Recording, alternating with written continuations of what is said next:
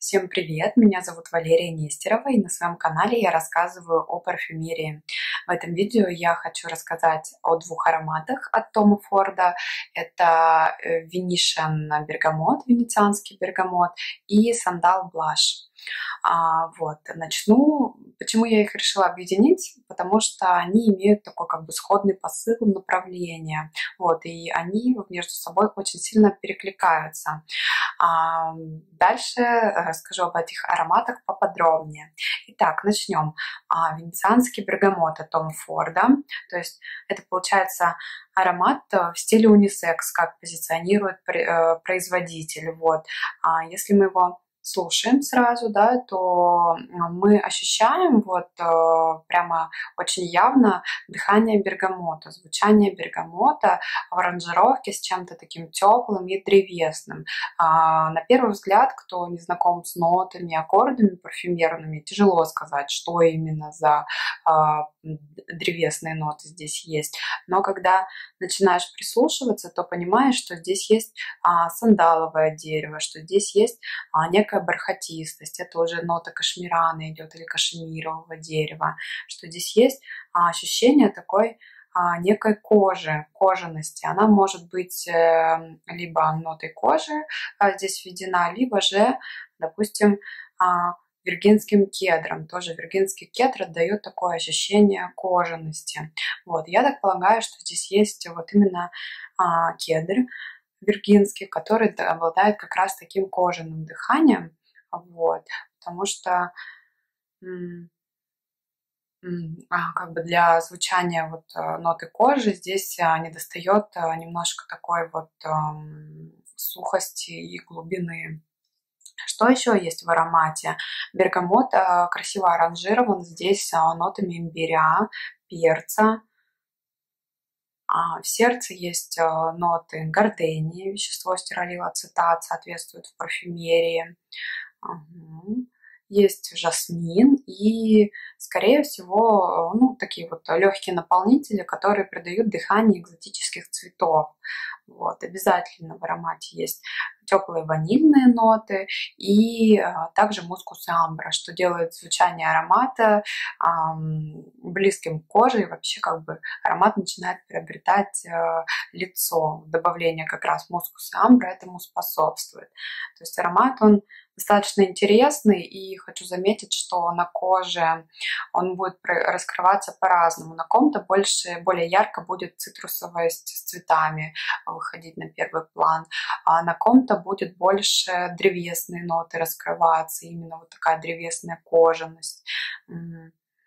То есть аромат на самом деле ну, красиво, так вот деликатно построенный и очень интересный. Вот прям отражает стиль э, Том Форда, ароматов Том Форда. Второй аромат, о котором я хочу рассказать, это Сантал Блаш. Вот.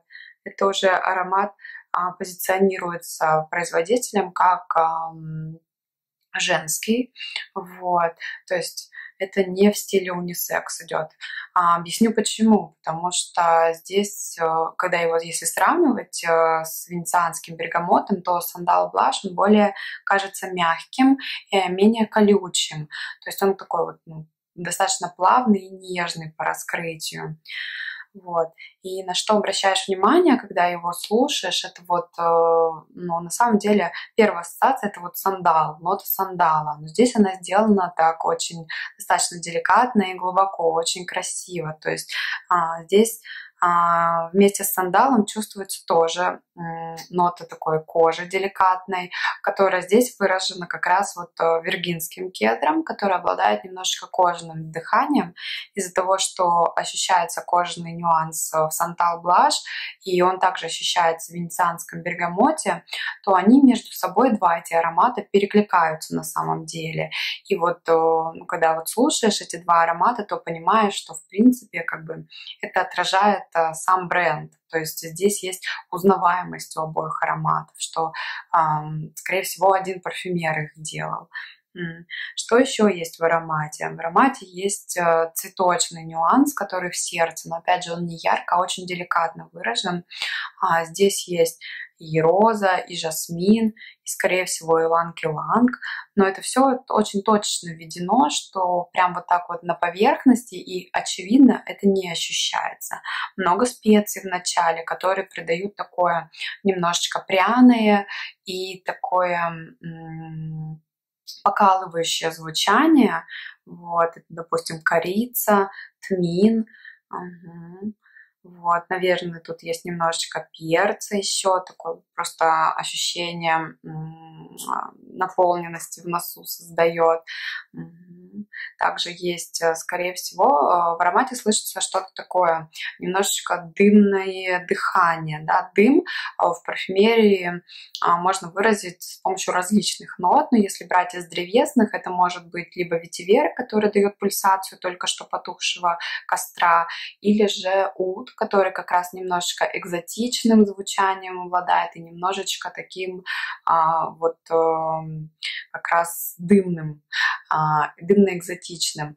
И вот если сравнивать, если знакомы с ароматом Том Форда удовое дерево, Удвуд, то на ум сразу приходит, вот э, опять же здесь очень перекликается его аромат удовое дерево, да, и а, когда это сравниваешь, то понимаешь, что здесь, скорее всего, нота уда введена в аромате, а не а, ветивера, не дыбного ветивера, то есть здесь еще есть удовая составляющая, но, конечно, сам аромат очень деликатно построен, вот, и очень нежно, вот эта вот плавность сандала, плавность э, именно звучания нот сандала, она и позволяет его относить к женским ароматам. То есть и если вслушиваться, то еще плавность а, придает аромату акцент на мускусе. То есть здесь больше мускуса, чем амбры.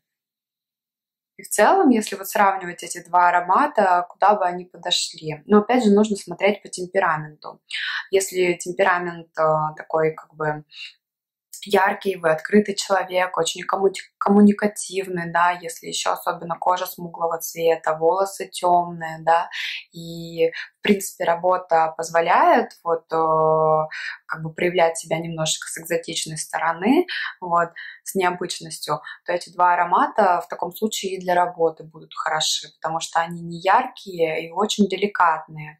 Но вот мне почему-то, вот если брать европейского человека, кто, какой образ э, девушки, допустим, если рассматривать девушку, стоит за этими ароматами, это если предстоит какая-то а, деловая коктейльная вечеринка, когда хочется, с одной стороны, обращать на себя внимание как на а, специалиста, на человека, который разбирается в каком-то вопросе, а с другой стороны, сформировать впечатление, что а, вроде какое-то ощущение праздника, какой-то необычности, да, и вот э, такой вот как раз деликатности и такого намека на роскошь, не на роскошь даже, а вот на такое, на престижность то эти вот два аромата, они как раз для такой области и подойдут. То есть коктейльная какой-то бизнес, э, коктейльная бизнес-вечеринка а, очень красиво будет.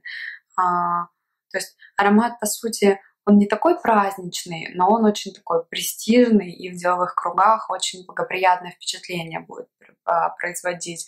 Поэтому, если вам предстоят а, такие мероприятия, то просто присмотритесь к этим ароматам. Они действительно очень достойные и красиво сделаны. Итак, а на этом все. Буду заканчивать. Если у вас есть еще какие-то ассоциации с этими ароматами или а, ваше собственное впечатление, куда можно пойти в этих ароматах, да, или есть какие-то вопросы ко мне по ароматам, то смело задавайте их в комментариях. Я читаю и, конечно же, буду отвечать либо сразу же, либо в одном из последующих видео. Итак, на этом все. А, и увидимся в новых видео. До новых встреч. Всем пока-пока.